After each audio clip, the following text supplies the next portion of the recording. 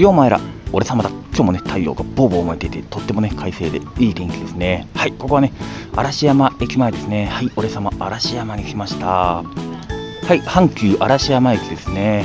はいねなんかあの古風な感じの改札ですね。こっちにはね木が立ってますね。あそこにはね三角コーンがありますね。ジバニャンドです。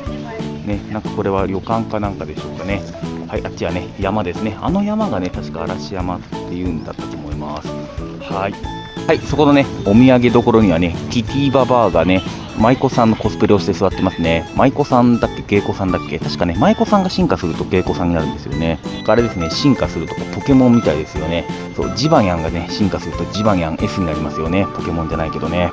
はい、ということでね、今日は太陽ボーボー快晴の日の阪急嵐山駅前でした。それではさようなら。ボーボー。ブーボー。ブーボー。ボー。ブー。ボーブー。ボーボー。